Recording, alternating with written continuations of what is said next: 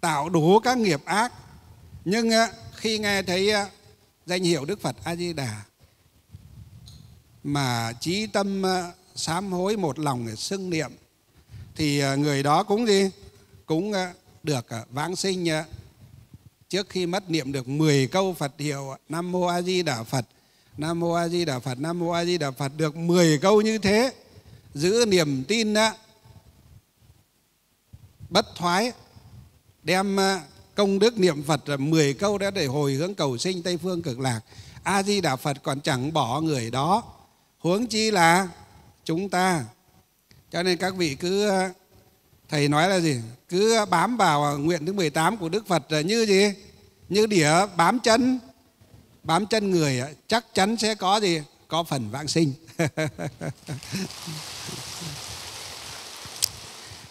Rồi tổ dẫn chứng tiếp này kinh quán vô lượng thọ, đã chẳng à, nói, kẻ tạo tội ngũ nghịch thập ác. Tạo tội ngũ nghịch nhé. Ngũ nghịch là gì? Là năm cái tội nặng nhất đối với người học phật chúng ta. Còn thập ác là gì? Thập ác đó là ba nghiệp về thân là sát, đạo, dâm. Bốn nghiệp về khẩu là vọng ngôn, ỷ ngữ, lưỡng thiệt và ác khẩu. Còn ba nghiệp về ý là tham sân si. Ba nghiệp thân, bốn nghiệp khẩu và ba với nghiệp ý tổng là mấy? Mười nghiệp ác. Cho nên ở đây gọi là ngũ nghịch thập ác. Kinh ờ, vô lượng ờ, kinh quán vô lượng thọ nói kẻ tạo gì? Tạo tội ngũ nghịch thập ác. Khi lâm chung trí tâm niệm phật mười câu, còn được ờ, vãng sinh. Trong phật giáo duy nhất chỉ có pháp môn tịnh độ. Chỉ có kinh quán vô lượng thọ nói điều đó mà thôi. Còn tất cả các kinh điển khác đều nói rằng những kẻ phạm tội gì? Ngũ nghịch thập ác sẽ bị đọa trong ba đường ác đạo. Luân chuyển ờ, lâu dài ở trong vòng sinh tử tử sinh ờ, khổ đau ờ, luân hồi vậy. Duy nhất chỉ có kinh quán vô lượng thọ. Có pháp môn niệm phật là a di đà nương vào tha lực của đức từ phụ a di đà cho nên nói rằng kẻ tạo tội ngũ nghịch thập ác khi lâm chung, tức là khi khi hấp hối chuẩn bị, lìa đời đó, chuẩn bị chết đó, nói thẳng tuẹt đó là chuẩn bị chết, mà trí tâm xưng niệm 10 câu Phật hiệu Nam Mô A Di Đà Phật hoặc là A Di Đà Đà Phật, người đó, nếu đem công đức niệm Phật 10 câu đó để cầu sinh Tây Phương còn được à, đới nghiệp vãng sinh. Huống chi là những bậc à, đầy đủ à, tín tâm tin sâu nguyện thiết một lòng niệm Phật như chúng ta mà không được về ư. Đây là lời gì? Lời tổ nói à, dẫn kinh để gì? Để phá nghi cho chúng ta.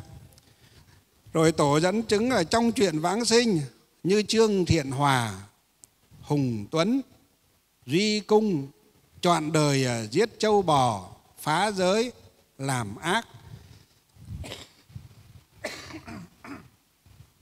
Khi lâm chung tướng địa ngục ờ, hiện ra, sợ hãi mà niệm phật, liền ờ, thấy phật đến rước. Cho đến loài chim sáo, chim két ra niệm phật còn được vãng sinh, huống chi ta chưa phải là tệ đến mức đó ư? Đấy. Đây là phá mối nghi về người à, niệm phật. Pháp tu à, dễ mà lại à, có công cao. Cho nên ở trong phật môn, duy nhất chỉ có gì?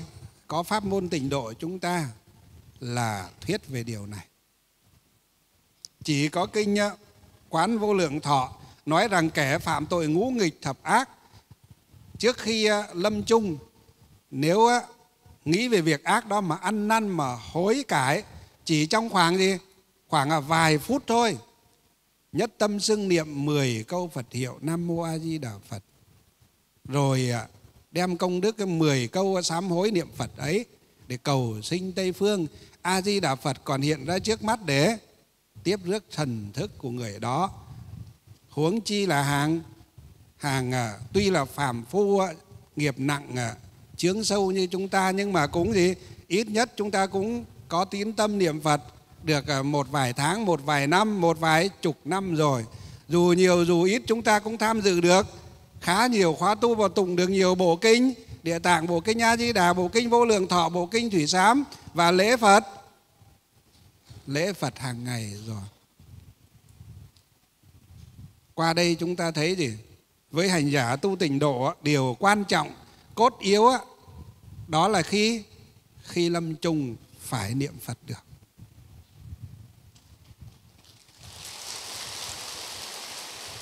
cho nên ở đây các à, đồng tu chúng ta nếu mà lúc à, ốm đau à, sắp chết, nó khó chịu đến đâu, cũng cố gắng để khởi lấy mấy câu Phật hiệu Nam Mô A Di Đà Đà Phật chứ lúc đó đừng có nghĩ đến tiền tài của cải danh vọng à đừng có nghĩ đến vợ chồng con cái, đừng có nghĩ đến gì?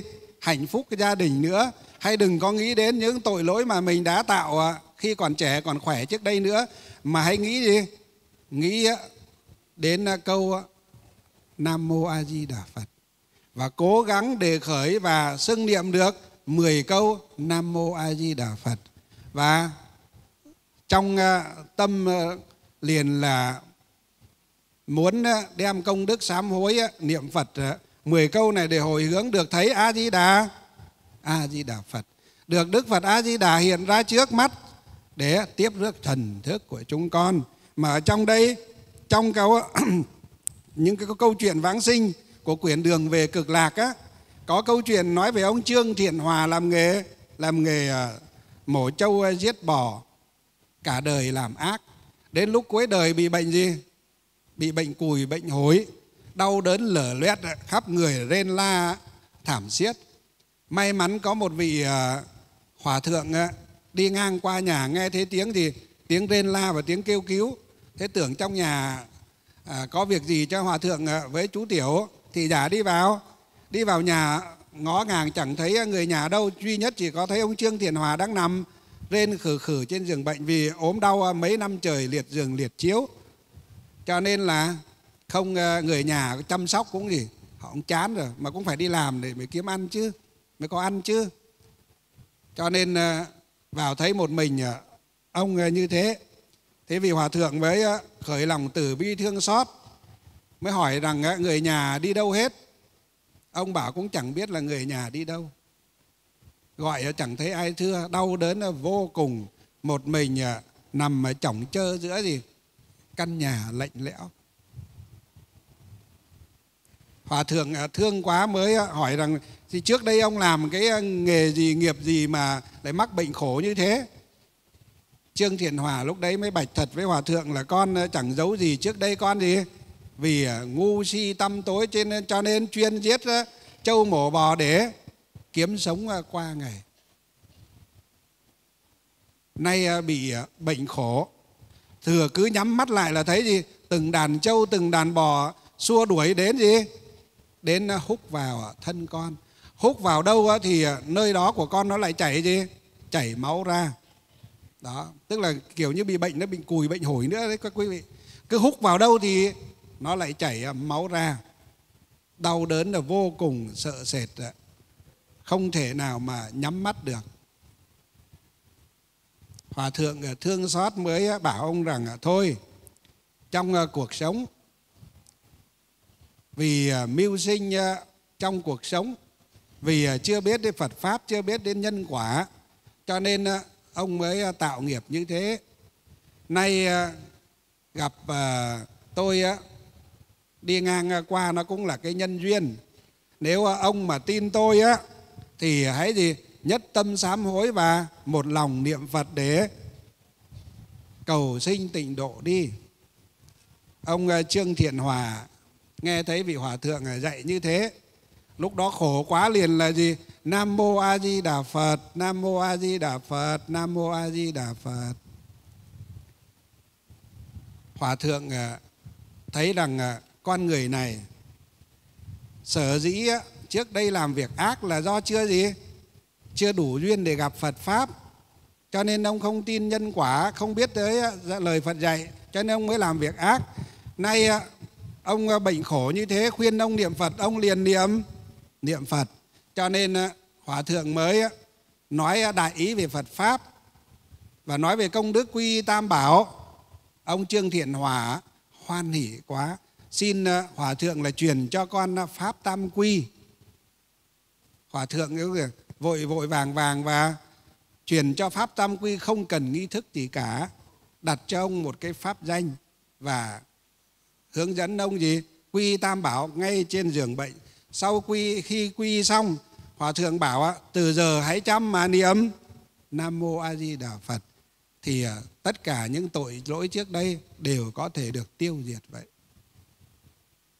nghe hòa thượng à, nói như thế, trương thiện hòa một lòng niệm phật ba ngày, ba đêm, thì tự nhiên không thấy gì châu bò đến đuổi và đến húc mình nữa. Và các vết sẹo ở trên người mình, các vết lở loét trên người mình tự nhiên cũng không thấy đau. Đau đớn nữa. Hết à, ngày à, hết đêm thứ ba, rạng sáng sang ngày thứ tư, ông thấy a di đà phật đến trước nhà ông ở trên hư không tươi cười và bảo ông rằng là gì?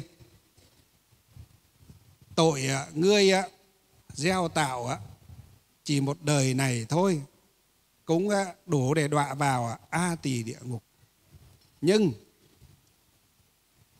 vì à, cuối đời ông biết ăn năn sám hối, biết quy tam bảo lại nhất tâm xưng niệm danh hiệu ta ba ngày, ba đêm, cho nên tất cả những tội lỗi đó của ông đã đi, đã được tiêu trừ. Ông bảy ngày nữa. Niệm phật gì? Bảy ngày nữa, ta sẽ đến gì? Đến ờ, đoán rước ông. Thế là ông niệm gì? Ba ngày đầu. Thêm bảy ngày nữa là đúng 10 ngày niệm phật mà. Biết trước ngày giờ tự do tự tại vãng sinh, hơi hôi hết sạch, hương thơm mà ngào ngạt, quang minh sáng chói.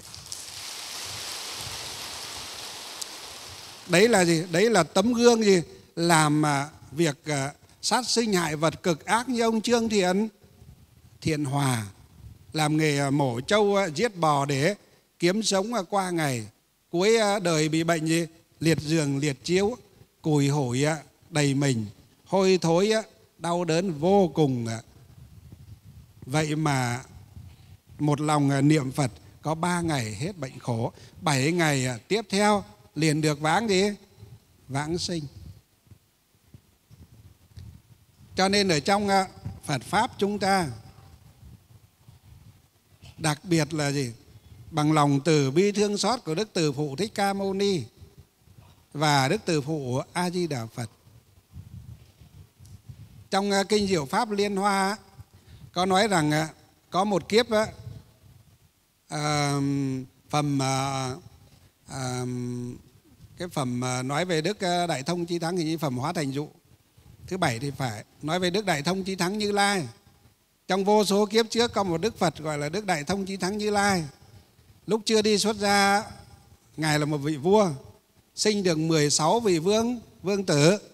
Và lúc ờ, vị vua đó đi xuất gia thành Phật, hiệu là Đại Thông Chí Thắng Như Lai, thì 16 vị vương tử cũng đều đều theo cha xuất gia, làm ờ, gọi là sa di Bồ Tát. Tức là thọ 10 giới sa di và hành Bồ Tát đạo và chuyên chuyên thọ trì đọc tụng kinh diệu pháp liên hoa và chuyên hoàng truyền kinh diệu pháp liên hoa. Và trải qua thì nhiều ờ, đời nhiều kiếp tu nhân tích đức hành Bồ Tát đạo và 16 vị vương tử đó đều được thành, đều được thành Phật. Vị ờ, thành Phật ờ, ở phương Tây, đó chính là Đức Phật A Di Đà. Còn vị thứ 16 thành Phật ở thế giới Sa Bà này, đó chính là Đức Phật Thích Ca Mâu. Mâu Ni của chúng ta và có một kiếp hai ngài đều là anh gì? Anh em cùng cha, cùng mẹ, hoặc là cùng cha khác mẹ thì cái việc ờ, khác mẹ hay gì đó thì mình không biết, nhưng mà cùng cha là chắc chắn.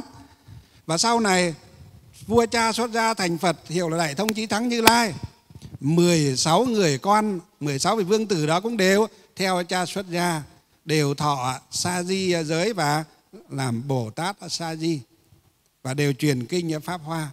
Khi ờ, hội đủ công đức cả 16 vị vương tử đều đã thành Phật ở khắp trong 10 phương thế giới, thì ờ, vị thành Phật ở phương Tây là Đức Phật A Di Đà và vị thành Phật ở thế giới Sa Bà chúng ta này chính là Đức Phật Thích Ca Mâu Ni. Đó, cho nên hai ờ, ngài, hai đức phật có những cái gì? Có những cái sự thân tình với nhau từ vô thỉ kiếp trước rồi cho nên là kiếp này ờ, Đức Phật Thích Ca Mâu Ni được ví như là người cha dùng sức mạnh vào thế giới xa bà đau khổ, kiếp trược, kiến trược, chúng sinh trược, phiền não trược và mệnh trược chung này để thuyết pháp giáo hóa độ sinh, dẫn dắt và khuyến dụ, khuyên răn dạy bảo từng đứa con, từng đứa con một. Muốn thoát khổ, các con hãy về với gì? Với người mẹ hiền, với người cha lành đó là chính là đức từ phụ a di. A di đà cõi tây phương. Nơi ấy, vì bản nguyện lực của đức phật a di đà, vì ờ, công đức thù thắng của đức phật a di đà, lúc còn hành bồ tát đạo và xây dựng ờ, kiến thiết và tạo nên cái thế giới tây phương cực lạc ấy. Chúng sinh ờ, đi, được sinh về cõi ấy thì không hoặc, không có ai là phàm phu sinh tử đau khổ nữa, mà đều gọi là bậc thượng thiện thiện nhân tuổi thọ đồng với tuổi thọ của Đức Phật A Di Đà mà Đức Phật A Di Đà thì tuổi thọ là vô. Vô lượng thọ không thể tính tếm hết tuổi được. À, công đức á, trí tuệ thì cũng gì? Vô lượng vô biên đều là hàng thượng thiện nhân đều là hàng thất địa bất thoái chuyển bồ tát. Trở lên cho đến gì? Bát địa cửu địa thập địa đẳng giác diệu giác. Cho đến gì? Nhất sinh bổ sư bồ tát. Một đời đi khắp mười phương để để thành phật cho nên cõi tây phương cực lạc thế giới á, là một gì? Một cái trường tuyển phật.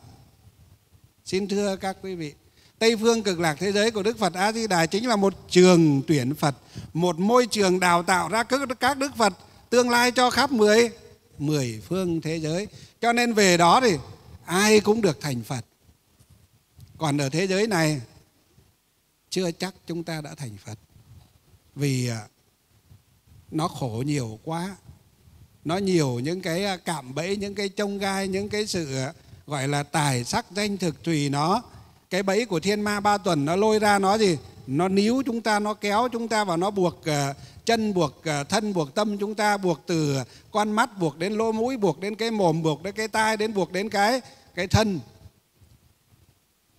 Lục căn lục trần lục thức đều à, bị gì? Bị thiên ma ba tuần nó răng bẫy nó thì chi phối chúng ta.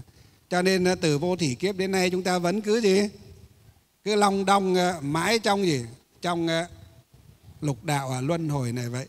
Nay tuy được thân người nhưng mà nếu không biết ra cầu sinh tây phương không trí thành trí kính thì niệm phật để cầu sinh tây phương cực lạc kiếp sau á tu được chút phúc kiếp này kiếp sau lại đem đốt gì? Đốt sạch hết các quý vị. Đốt sạch hết luôn. Đấy. Mà đốt sạch hết phúc thì lại đi vào trong ba đường. Lại chui vào trong ba đường ác. Cho nên à, trong kinh à, các tổ gì cái bài phát nguyện à, đại văn vãng sinh tây phương các tổ nói gì? Chúng con phát bồ đề tâm chẳng vì cầu phúc báo nhân thiên. Chẳng vì cầu làm gì? Làm trời làm người, nhấn đến làm vua chúa quan lại. Làm bậc trưởng già giàu có con cũng chẳng gì? Chẳng cầu. Duy nhất chỉ có một điều nguyện và sở cầu duy nhất đó là gì? Vãng sinh tây phương. Biết trước ngày giờ, trước khi lâm chung. Vãng sinh tây phương cực lạc thế giới. Duy nhất chỉ cầu thế. Chẳng cầu làm vua cõi người cõi trời. Chẳng cầu làm thủ tướng, làm tổng bí thư hay làm à, tổng thống gì cả chỉ cầu à, duy nhất một điều đó là gì? Được à, vãng sinh à, tây phương mà thôi.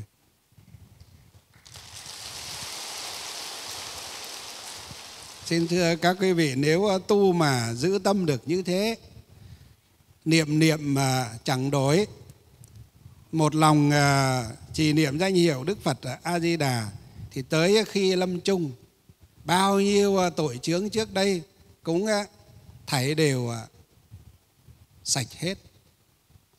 Đi theo à, gót Phật à, ngồi trên à, tòa sen hoặc quỳ trên tòa sen hoặc đứng trên tòa sen, đi theo sau gót Phật mà. Mà về Tây phương được về đó rồi thì quả thật là gì? Không có cái gì thủ thắng. Không có cái gì mà viên mãn hơn là được vãng sinh Tây phương cực lạc cả, các quý vị.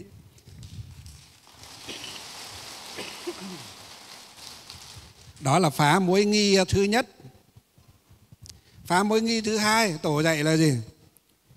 Bản nguyện ờ, chưa trả tham sân si ờ, chưa dứt. Bản nguyện của hành giả đại khái có hai đạo và đời. Ở đây tổ hôm qua nói về bản nguyện hôm nay tổ giải thích rõ hơn về bản nguyện. À, đấy hôm qua nói ừ, đây hôm qua nói uh, gì? Qua nói về uh, bản nguyện nó chưa trả xong. À, câu này ờ, nếu nói về bản nguyện thì à, không biết nó có đúng không? Để đọc hết bài của tổ nói xem nhé bản nguyện của hành giả đại khái có hai đạo và đời.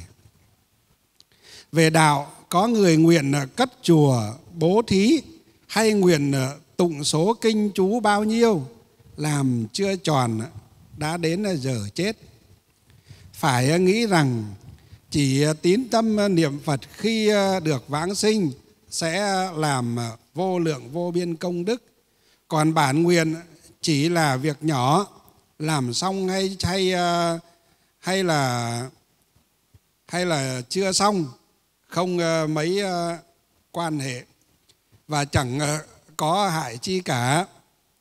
Đây đấy là nói về gì? Về đạo còn về đời về đời á, hoặc có người vì nhiệm vụ à, gia đình chưa tròn, như à, cha mẹ suy già, không ai à, chăm sóc, vợ con thơ dại, thiếu chỗ tựa nương, hoặc có kẻ thiếu nợ chưa kịp trả, tâm nguyện chưa vẹn, nên lòng chẳng yên.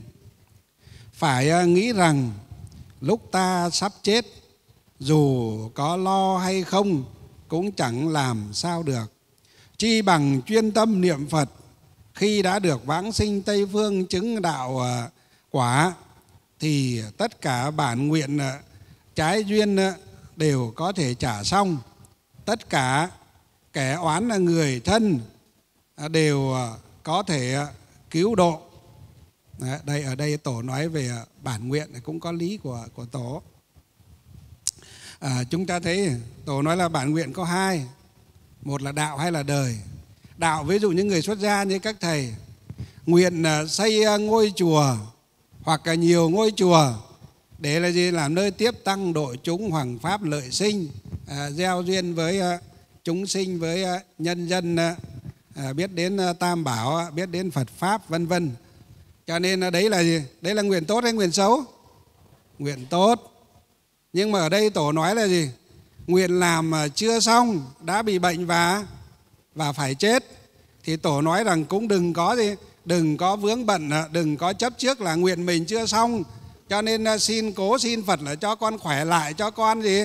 À, xây nốt à, ngôi chùa hay cho con à, quy y nốt cho đạo tràng vân vân này nọ kia abc tổ nói là tùy duyên đi chùa xây chưa xong. Nếu mà phải ra đi cũng gì thì cũng yên tâm nhẹ nhàng và ra đi. Không có mợ thì chợ cũng đông. Kiểu không có mình thì người khác gì? Lại kế tiếp chủ trì và tiếp tục xây ngôi rừng là ngôi chùa đó. Chứ họ cũng có bỏ đâu kể cả không có sư thì có gì? Có nhân dân tín đồ phật tử họ cũng sẽ tiếp tục họ làm cái việc đó. À, vạn pháp vâng. à, như huyễn mà có tức thì không không ờ, không tức là có mà. Có có, không không ờ, chỉ là giả duyên ờ, chỉ do nhân duyên giả cảnh nhé đem đến mà thôi. Có sinh ắt phải có diệt. Có tồn tại ắt sẽ phải có gì? Có biến mất vậy. Cho nên cái việc xây chùa tiếp tăng đội chúng đã làm được thì tốt. Mà làm chưa xong phải ra đi cũng gì? Cũng vui vẻ xả báo an tường, thị tịch quy tây, một lòng niệm phật cầu sinh. Tịnh độ. Chớ để cho cái ờ, việc ờ, chấp trước vướng bận chùa cảnh tiếp tăng đội chúng nó làm làm ờ, mất đi cái bản nguyện cầu vang sinh của chúng ta. Đó là ý tổ dạy là gì? Cứ nhất tâm mà niệm phật. Khi vãng sinh về tây phương rồi, đầy đủ thần thông công đức, lúc đó gì muốn làm gì mà chẳng được? Muốn xây ngôi chùa ư? Chỉ cần chỉ khởi tâm một cái liền là liền là đi khắp mười phương thế giới hộ trì chính pháp, giao ờ, giúp đỡ cho xây gì. Không chỉ một ngôi chùa mà hàng gì, trăm nghìn vạn ức cái triệu tỷ ngôi chùa khắp mười phương thế thế giới. Muốn tiếp tăng đội chúng thì chỉ cần gì, khởi tâm muốn tiếp tăng đội chúng thì liền là có thể. Thì hiện ra gì, muôn ờ, ức ờ, triệu tỷ thân hình à, khắp mười phương thế giới để làm một bậc cao tăng, là một vị hòa thượng, là một bậc à, à, đạo cao đức trọng trí tuệ hơn người để tiếp tăng độ chúng. Có phải lúc đó chẳng phải là gì? Làm được à, trọn vẹn ư? Cho nên chỉ lo là không được vãng sinh chứ đừng có lo là không à, à, xây được chùa không tiếp tăng độ chúng được. Đấy là ý của tổ dạy là gì? Đối với tất cả các việc hình tướng ở thế gian thiện hay là gì? À, xuất thế gian hay là thiện của thế gian. Xong hay chưa xong? Cũng à, tùy duyên. Điều quan trọng nhất đối với hành giả, đó là tin sâu nguyện thiết và một lòng niệm niệm phật để cầu sinh tịnh độ. Mạng còn thì làm à, tiếp tục, làm chùa tô tượng đúc chuông à, tiếp tăng đội chúng. Mạng hết thì nhẹ nhàng xả báo an tường thảnh thảnh thơi thơi, theo sau gót phật để vãng sinh cực lạc. Đấy là về người người xuất gia tu hành. Còn về người tại gia tổ dạy là gì? Về đời đó thì, hoặc là có nhiệm vụ gia đình, cha mẹ, chưa làm tròn bổn phận cho con cái. Đó là con ờ, trai nó chưa lấy vợ mà con gái nó cũng chưa gả được được chồng. Cho nên ờ, bố mẹ lúc nào cũng canh cánh bảo, con ờ, thật là xấu hổ với tổ tiên. Có lỗi với tổ tiên chưa làm tròn được nhiệm vụ của tổ tiên giao phó con trai con chưa lấy được vợ cho nó, con gái con chưa gả được chồng cho nó, nay ờ, mắc bạo bệnh nằm trên giường bệnh như thế này. Khóc. Vừa nói đến đấy liền là gì? Khóc. Khổ. Uống nước cũng gì? Khóc. Kiểu thế. Uống nước cũng khóc vì tuổi gì? Tuổi thân nghĩ là mình chưa làm tròn trách nhiệm với ông bà, với tổ tiên. Cho nên, nay nằm trên giường bệnh mà con trai chưa lấy được vợ, con gái chưa gả được chồng cho nó, chưa làm tròn được trách nhiệm bổn phận của người làm làm cha, làm mẹ. Cho nên trên thì xấu hổ với tổ tiên, dưới thì có lỗi với con con cái. Cho nên là buồn, thương, sầu khổ. Khóc thảm đêm ngày, khóc cho đến lúc gì? Cho đến lúc nhắm mắt xuôi tay vẫn cứ khóc khóc mà chết còn gì còn à, suy nghĩ hối hận mắt không nhắm được. Khổ thân. Như thế có phải là từ mê vào chỗ mê không? Từ tối vào chỗ tối không các quý vị? Đúng thật từ mê vào mê từ tối lại tiếp tục vào chỗ chỗ tối. Trước khi lâm chung mà chúng ta gì ảo não buồn thương sầu khổ như thế thì à, cánh cửa của ba đường ác, địa ngục ngạ quỷ súc sinh liền hiện ra trước gì? Trước mắt, và vừa đứt hơi thở. Cảnh giới của ba đường ác đạo à, hiện ra và chúng ta gì thần thức liền là chui vào đó. Đó gọi là từ tối lại càng vào chỗ tối hơn. Từ khổ lại vào chỗ còn còn khổ hơn. Cho nên tổ dạy ở đây là gì? Lúc đó thì phải gì? Buông đi tất cả vạn pháp về tùy duyên. Ta đã đến ờ, thế giới này không biết ờ, bao nhiêu trăm nghìn ờ, vạn triệu tỷ ức đời kiếp rồi. Có những kiếp gì? Làm vua chúa quan lại. Có những kiếp làm trưởng giả. Có những kiếp làm tu sĩ. Có những kiếp làm học giả. Có những kiếp làm bậc tri thức. Nhưng cũng có những kiếp làm kẻ gì? Ăn xin ờ, ăn cắp ờ, lang thang đầu đường, xó chợ. Có những kiếp làm thân trâu bò chó lợn để kéo cày trả nợ trong nhà cho người ta mà vẫn bị người ta trả đạp, người ta giết hại. Có những kiếp gì khổ đau ờ, cùng cực ở trong a tỷ địa ngục. Có những kiếp làm thân gì chư thiên hưởng lạc cùng cực. Nhưng rốt cuộc đến nay ta vẫn gì? Trắng hai bàn tay. Chi bằng nghe theo à, lời à, phật, lời tổ, lời à, thầy khuyên thầy giảng, thầy khuyến khích động viên, buông đi tất cả để một lòng niệm. Niệm phật 10 câu, hoặc là niệm phật từ giờ cho đến lúc nhắm mắt xuôi tay, buông đi tất cả mà. Nam mô a di đà phật. Nam mô a di đà phật. Đấy, lúc đó nó thều thào. Nam mô a di đà phật. Lúc đó nó thiểu em lại diễn tí.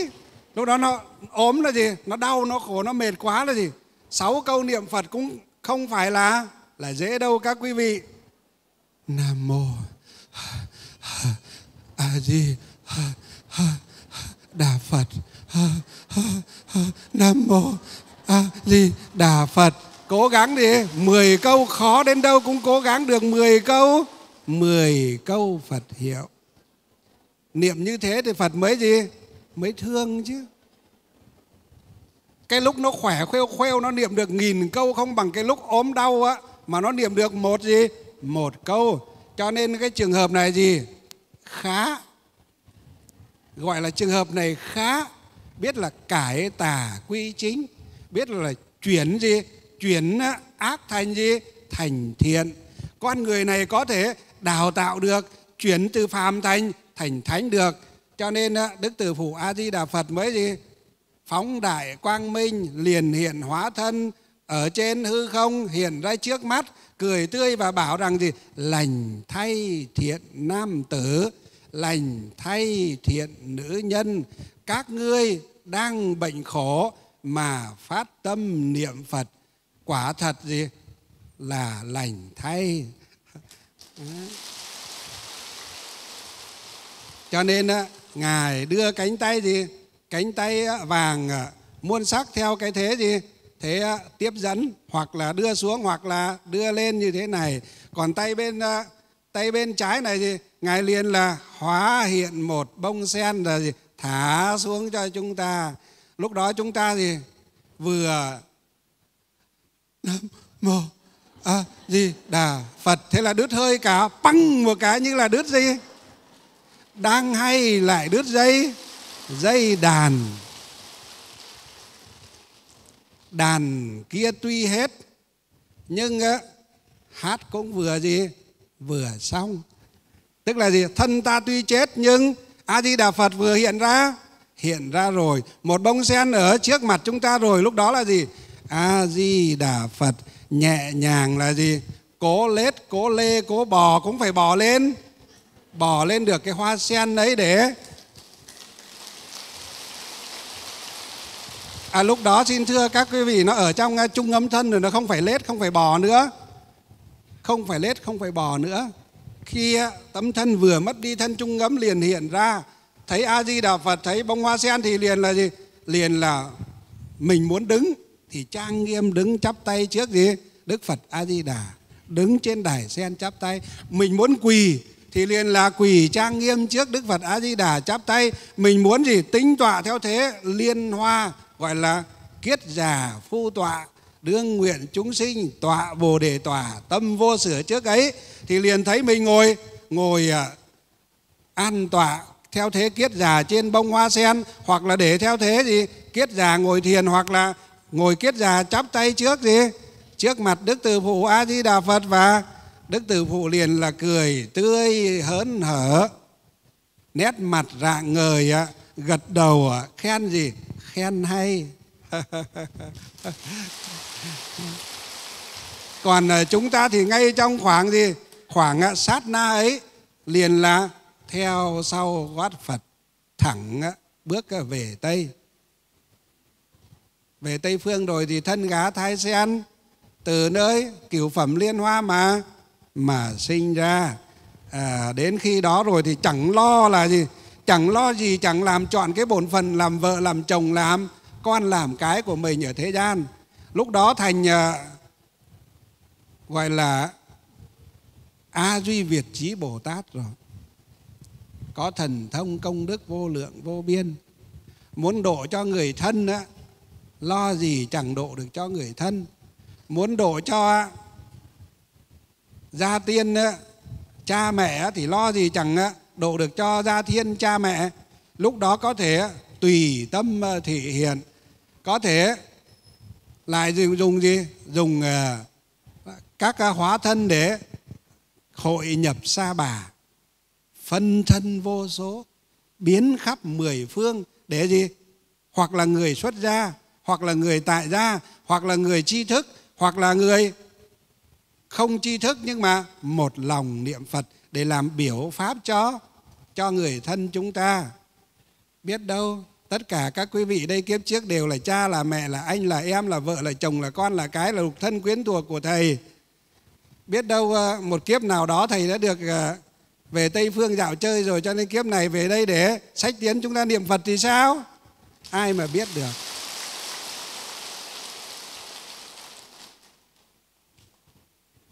Lúc thì thì hiện là gì? Là một kẻ khổ sở nghèo đói ngu si đần độn. Nhưng từ cái chỗ gì? Thị hiện nghèo khổ à, à, gọi là ngu si đần độn à, đói khát đấy mà vượt à, qua nó thì nó mới quý. Giống như sen ở trong gì? Trong à, bùn lầy tanh hôi ấy, mà vượt qua cái bùn lầy tanh hôi nó nở ra cái nụ sen, nở ra cái bông sen. Chúng ta nhìn à, sen như thế nó mới đẹp, nó mới quý. Như thế mới gọi là trong đầm gì đẹp bằng sen. Lá xanh bông trắng lại chen nhụy vàng. Nhụy vàng bông trắng lá xanh, gần bùn mà trắng, hôi tanh mùi bùn. Đấy. Cho nên thế nó mới quý biết đâu được. Có khi chính những cái gì, những cái thật thà, chân thành, chất phát từ cái gì, cái chỗ khổ cực mà vượt ra đó, những lời nói của chúng tôi gì gây được thiện cảm với các quý vị. Cho nên các quý vị tin, các vị theo, các quý vị, các vị tu, các vị phát tâm, các vị quy tam bảo, các vị làm đệ tử phật, các vị các vị à, niệm phật để cùng à, cầu sinh tây phương. Và sau này biết đâu trong số chúng ta ngồi đây được chiếm được gì? Già nửa là được vãng sinh ngay trong kiếp này. Còn à, tiếp theo những kiếp sau là gì? Lại được thân người và lại tu tu tiếp. Và một ngày nào đó cùng về tây phương với nhau gặp nhau lúc đó có đầy đủ thần thông với nhau mới thấy rằng à hóa ra cái ông à, sư ấy ông à, về ông à, báo cái công ơn sinh thành dưỡng dục. Hóa ra kiếp trước mình làm cha làm mẹ ông ấy làm anh chị ông ấy thậm chí làm vợ con ông ấy, làm người thân ông ấy. Cho nên nay ông ấy muốn gì? Muốn báo đáp cái công ơn sinh thành dưỡng dục và những công ơn lục thân quyến thuộc ông ấy gì ông ấy về hiện làm. Hiện một kiếp là ông ông đạo thịnh, ông ấy báo hiếu mình. Biết đâu được, chỉ có sau này chúng ta có đầy đủ thần thông công đức chúng ta mới biết được ai làm cái gì, ai làm cái gì còn bây giờ xin các quý vị hãy gì? Hãy nhớ cho thầy gì? Đích thực là một phàm phu vô tục tử vô minh chướng trọng nghiệp dày. Đến thế giới này bởi hai chữ gì? Nhân duyên. Đấy các phật tử chúng ta cũng đừng có gì lo lắng đừng có vướng bận là việc uh, lo việc này chưa xong cho nên nó không nhắm mắt xuôi tay đành à, bố mẹ à, mất à, chưa kịp thay áo tức là chưa kịp sang cát gì. Nay mình à, bảo bệnh nằm trên giường bệnh như thế này chưa làm tròn bổn phận của đứa con. Cho nên à, không à, muốn chết. Nhưng không muốn chết chúng ta có có khỏi không? Có không phải chết không? Không muốn chết nhưng cũng phải chết. Cho nên à, chi bằng trước khi chết. Thay bằng à, nhớ nhung thay bằng ăn năn thay bằng cứ dằn vặt trong á tâm thức của mình. Bằng câu gì? Hãy niệm phật để cầu sinh tây phương, vãng sinh rồi con sẽ quay lại để trả ân. Trả ân bố mẹ, trả ân gia tiên, trả ân tất cả những người có ân với mình. Giống như tôi hôm nay ngồi đây là gì mục đích duy nhất đó là trả ân các quý vị thôi. Chẳng ngoài mục đích gì khác. Cái ân ít nhất cũng là gì? Từ à, cái tâm, từ à, hạt gạo từ mớ rau. Cũng ờ, do các quý vị ờ, phát tâm ờ, cúng dường. Từ viên gạch xẻng cát ra túi xi. Si, các vị phát tâm để xây dựng lên ngôi chùa khai nguyên này. Xây dựng lên cái ngôi cái khu nhà khách khu nhà tăng hay khu nhà ni hay tất tất cái nhà hội trường này đều là do gì? Đàn na tín thí các quý vị phát tâm. Nhân dân thập phương các quý vị phát tâm chúng tôi nhờ cái tâm của các quý vị mới có chỗ để gửi gắm tấm thân này để tu nhân tích đức hành thiện. Trên thì khất cầu giáo pháp của đức phật để tu sửa thân tâm ba nghiệp của mình. Dưới thì tùy duyên tùy nguyện để hoằng pháp lợi sinh báo phật ân đức tiếp dẫn hậu lai. Đem trả cái chẳng phải là đem trả cái công gì, cái công đức của đàn na tín thí các vị hay sao? Cho dù không phải là lục thân quyến thuộc à, à, trước đây đi chăng nữa cũng là cái ân gì? Ân đàn na tín thí. Cho nên xin các quý vị hãy gì? Hãy hoan hỷ tiếp nhận cho chúng tôi mỗi khi ốm đau bệnh tật đấy chớ có ăn năn ờ, hối hận là mình chưa làm được trọn vẹn cái trách nhiệm của mình. Mà hãy nghĩ đến lời à, à, chúng tôi à, nhắc nhở sách tiến khuyên răn à, động viên các quý vị là hãy thay bằng cái việc đó bằng cái câu gì? Nam mô a di đà đà phật. Hoặc rằng a di đà đà phật. Để cầu sinh tây phương cực lạc thế giới. Mỗi một các quý vị được vãng sinh tây phương bởi sự à, sách tiến khuyến hóa động viên chúng tôi thì a di đà phật cũng à, gọi là ghi điểm cho chúng tôi được một chút xíu. À, cái thằng này cũng được đấy chứ. Bảo nó về à, à, xa bà thế giới để mà tu nhân tích đức à, hành thiện để mà tụng kinh à, niệm phật tu hành làm biểu pháp cho cho đại chúng nói theo. Thằng này cũng được phết đúng không? Cứ thỉnh thoảng nó lại gì lại dắt được một người lại hướng dẫn lại động viên được một người vãng sinh về thế giới tây phương à, cực lạc thế giới. Mỗi một vị được vãng sinh thì sau này thì đều được thành phật. Mỗi một vị phật lại độ được chưa cho vô lượng chúng sinh sẽ cùng được thành phật. Cho nên thằng này thì cũng khá cho nó thêm một điểm. Tích tiểu thành đa. Nhiều vị à, vãng sinh thì đương nhiên là gì? Mỗi vị vãng sinh chúng tôi được một điểm nhỏ thôi. Nhiều điểm nhỏ, cộng lại nó sẽ thành gì? Thành một điểm lớn. Giống như giọt nước tuy nhỏ chảy dần dần cũng đầy cả một chum một chum lớn. Cho nên tích tiểu thành đa. Bất cứ việc thiện nào đến thế giới này chúng ta có thể làm được thì cố gắng để mà làm. Gọi là gieo duyên với chúng sinh vậy. Gieo cái hạt giống lành, hạt giống thiện, hạt giống bồ đề với với à, chúng sinh vậy. Chứ à, mình mà tu tập cho riêng bản thân à, cá nhân mình lên núi ẩn cư làm cái lán cái cốc để tu thì nó cũng ờ, đối với thầy nó cũng chẳng phải là việc khó. Có thể làm được. Vì trước đây cũng đã từng ờ, nhập thất cũng đã từng gì chống gậy ờ, lên núi để muốn ẩn cư rồi. Mà cũng đã từng lên núi để một mình chống gậy lên tản viên ở trên đó với vắt với rắn rồi các quý vị. Đó, cũng chẳng có phải là không làm được việc đó. Nhưng bây giờ chắc phật phân ngôi bổ xứ cho là gì?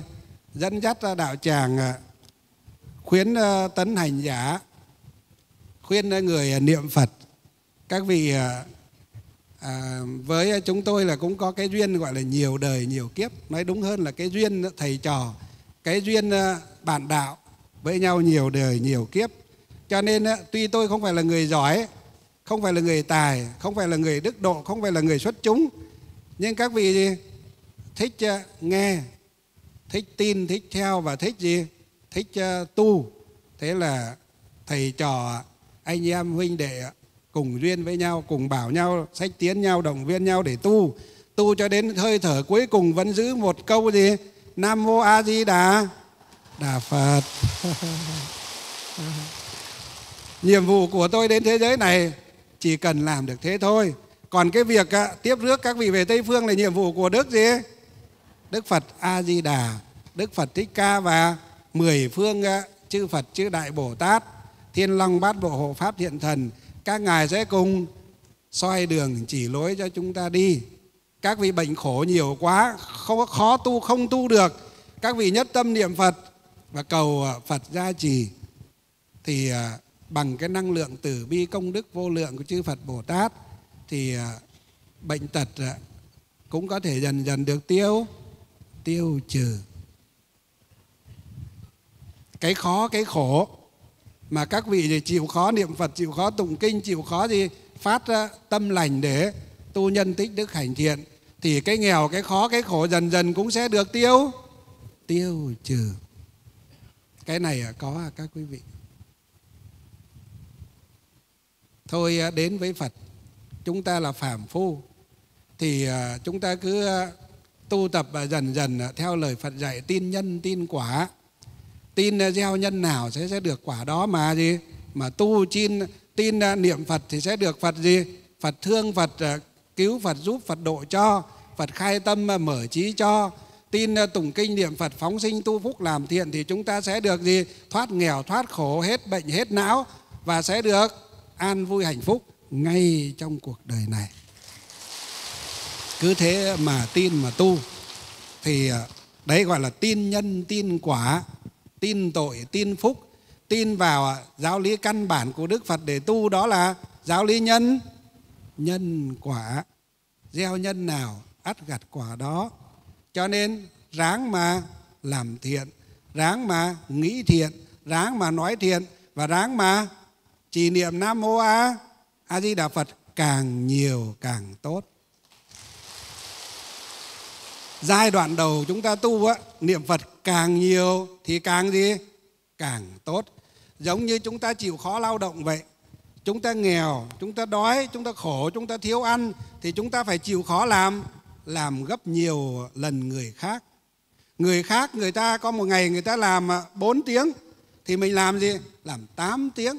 Người khác người khác làm 8 tiếng thì mình làm 12 tiếng người ta đi ờ, làm từ 7 giờ đến 9 giờ người ta về, thì mình làm từ 6 giờ cho đến 11 giờ mình mới gì? Mới về. Người ta có điều kiện, người ta mua hoặc là người ta có cái ờ, đất đai màu mỡ để trồng trọt. Chúng ta không có đất đai màu mỡ. Chúng ta phải khai hoang những nơi bìa rừng, những nơi đất nhiều, sỏi nhiều, đất nhiều đá. Thì chúng ta phải bỏ nhiều công ra để để làm. Đất màu mỡ của họ làm mà bớn thì ăn thật làm mà ít thì được hưởng nhiều. Những cái đất khô cằn à, sỏi đá rồi bìa rừng à, gần sâu, gần bọ, gần chuột, gần à, chim chóc của chúng ta thì chúng ta cần phải gì? Cần cù chịu khó và bỏ sức nhiều hơn. Tất nhiên, chúng ta không được giàu bằng người, nhưng chúng ta không không đến nỗi phải gì? Nghèo rớt mùng tơi nữa. Nói như thế các vị có hiểu không? Đấy tu tập cũng như thế các quý vị. Cho nên bước đầu chúng ta học phật, cứ niệm phật cho thật gì? Thật nhiều. Rảnh lúc nào là niệm phật lúc gì? Lúc đó. Đi à, trên đường đi xe buýt có niệm phật được không? Có. Đi xe buýt thì chúng ta cứ gì? Nam mô a di đà phật, nam mô a di đà phật. Có được không? Không. Mà đi xe buýt thì cầm cái cối tràng thế thôi. Hoặc nếu không cầm cối tràng thì chúng ta niệm phật trong gì? Trong tâm mình. Đó gọi là niệm phật thầm hay gọi là kim cang trì. Đấy. Đi xe buýt cũng niệm phật được. Đi xe máy có niệm phật được không? Có. Bắt đầu à, cầm xe máy ra. Nam mô a di đà phật. Gạt cái trông trống lên thì cũng a di đà phật dắt cái xe máy ra cũng a di đà phật cắm cái chìa khóa vào cũng a di đà phật để cái xe máy cũng a di đà phật én én én. Vào số cũng gì cũng a di đà phật khật một cái. A di đà phật xe bắt đầu chuyển đi gì? A di đà phật xong khi đi trên đường thì thôi, tạm dừng a di đà phật mà nhìn gì? Đi đúng luật giao thông để đảm bảo an toàn cho mình và cho mọi người tham gia giao thông chung chung quanh chứ lúc đó đi trên ờ, đang lái xe uh, máy trên đường mà cứ nhắm tít mắt lại a di đà phật thì thôi chết toi. Đấy không tôi cũng phải nói thật nói thẳng như thế các quý vị. Cho nên uh, lúc đi lái xe chúng ta chú tâm để lái xe đó cũng là niệm gì? Niệm phật rồi. Khi dừng xe lại chúng ta bắt đầu tiếp tục có thể niệm phật được chưa? Đấy dừng xe lại chống chân xuống a di đà phật tắt cho chìa khóa đi tắt máy cũng a di đà phật khóa cổ lại cũng a di đà phật. Và bước vào nhà cũng a di đà phật. Ngồi uống nước à, cầm ờ, chai nước ra mời bác uống nước à đưa từ cầm chén nước lên cúng gì? A di đà phật. Uống nước cúng gì? A di đà phật. Đó. Uống xong đặt xuống cúng gì? A di đà phật. Và chúng ta thấy không?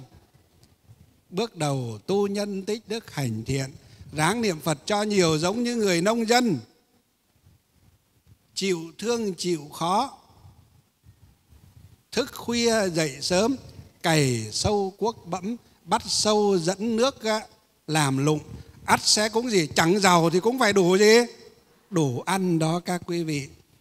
Cho nên các vị đừng có kêu khổ, thầy ơi, con khổ thế. Trời ơi, con khổ thế. Phật ơi, con khổ thế. Thay bằng cái câu, trời ơi, con khổ thế. Phật ơi, con khổ thế. Bằng câu gì? A di đà phật. Được chưa? Trong kinh vô lượng thọ, đức phật thích ca mâu ni nói rằng gì? Trí tâm xưng niệm danh hiệu nam mô a di đà phật hoặc a di đà phật sẽ tiêu được gì? Tám muôn ức kiếp sinh tử chúng khổ đó các quý vị. Cho nên á, a di đà phật là gì? Là chúng ta niệm danh hiệu một đức phật. Nói về lý là chúng ta đang niệm một đức phật, có vô lượng công đức, vô lượng trí tuệ và vô lượng gì? Vô lượng à, thần thông ở tây phương cực lạc đó chính là đức phật a di đà đấy là nói về gì? Về lý. Còn nói về sự là gì? À, thì chúng ta niệm phật a di đà chính là chúng ta đang niệm đang niệm à, à, à về về về Đức Phật trong mỗi chúng ta trong Trung Phong Tam Thể Hệ Niệm ngày Trung Phong Quốc sư của Phật nói gì? A Di Đà Phật chính là tâm tâm ta. Tâm ta chính là A Di Đà Phật đấy, tức là chúng ta đang niệm cái tâm gì? Tâm tự tính giác ngộ của mình. Vì chữ A là gì? Chữ A là gì? Dịch là vô. Chữ di đà là gì? Chữ di đà là gì? Là vô lượng. A di đà là gì? Vô lượng. Chữ phật là gì? Chữ phật có nghĩa là là giác. A di đà phật là vô lượng giác a di đà phật còn là gì là vô lượng thọ a di đà phật còn là vô lượng công đức vô lượng giác vô lượng thọ vô lượng công đức một câu a di đà phật trong kinh vô lượng thọ nói sơ qua có 13 gì 13 nghĩa. A Di Đà Phật là vô lượng thọ, A Di Đà Phật là vô lượng quang, A Di Đà Phật là vô lượng công đức, A Di Đà Phật là siêu nhật nguyệt quang, A Di Đà Phật là A Di Đà Phật là nan tư quang, A Di Đà Phật là gì? Bất tư nghì quang, A Di Đà Phật là vô ngại quang, A Di Đà Phật A Di Đà Phật là bất đoạn quang, vân vân và vân vân. Hãy về đọc kinh vô lượng thọ sẽ thấy gì? 13 nghĩa cơ bản từ một câu a di đà phật được đức phật thích ca mâu ni giới thiệu ở trong đó cho nên chúng ta niệm a di đà phật nói tóm gọn là niệm vô lượng thọ a di đà phật là niệm vô lượng giác. A di đà phật là niệm vô lượng công công đức. Cho nên à, lý sự viên dung, sự lý à, hỗ trương à, cho nhau. Chúng ta niệm một câu thánh hiệu a di đà phật, nó có công đức thủ thắng như trong kinh vô lượng thọ Đức Phật Thích Ca Mâu Ni đã giới thiệu nói rằng, tiêu được tám muôn ức kiếp sinh tử chúng khổ là như thế. Cho nên bước đầu học Phật, thầy khuyên chúng ta gì ráng niệm Phật cho cho nhiều, giống như người nông dân cần cù và chịu khó. Tất sẽ được. Lúa, ngô, khoai, sắn lương thực thực phẩm để để sử dụng. Không giàu cũng không cũng không khổ. Nếu không giàu và nứt đố đổ vách thì cũng không không bị khổ nữa cho nên bước đầu tiên đối với mọi hành giả chúng ta đó là tinh tiến niệm phật. Niệm phật cho cho nhiều. Thay bằng cái câu gì? Trời ơi, sao con khổ thế? Bằng câu là gì? Nam mô a di đà đà phật.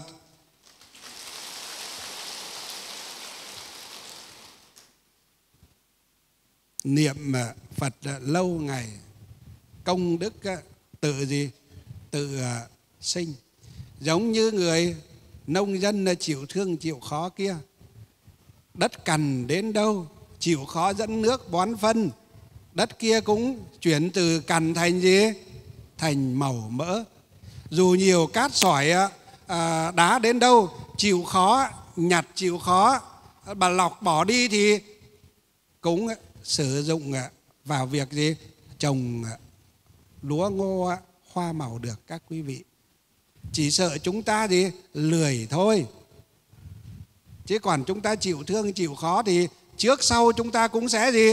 Ít nhất là đủ ăn, đủ mặc, đủ tiêu. Sau nữa có thể làm giàu. Đúng không? Đấy, chúng ta chịu khó niệm phật.